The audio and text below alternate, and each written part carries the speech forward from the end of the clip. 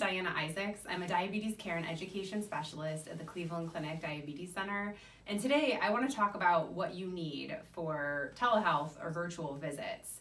So I'm actually talking to you here from my office where I do lots of virtual visits. Um, the first thing you really need is some kind of platform to connect with your patients.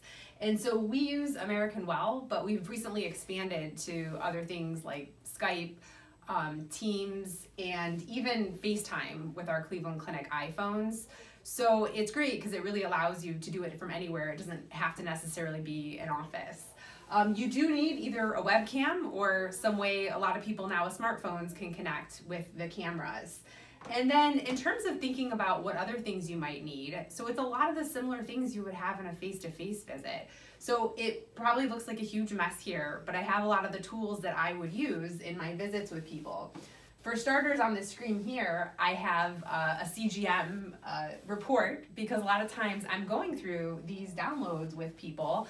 Um, it's great if you can get people to download in advance and send them information on how to do that. And then we can talk about that data together and even look at it together.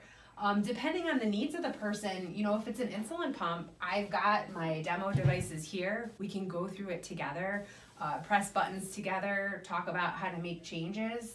I've even got, you know, different kinds of sensors here.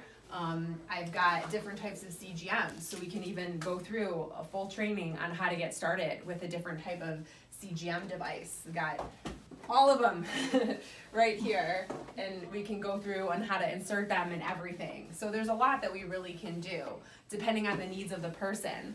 Thanks to my dietitian colleagues, because um, my background is I'm a pharmacist, I've got some great food model types of things if we need to go over serving sizes um, and you know some different types of carbohydrate counting tools and everything.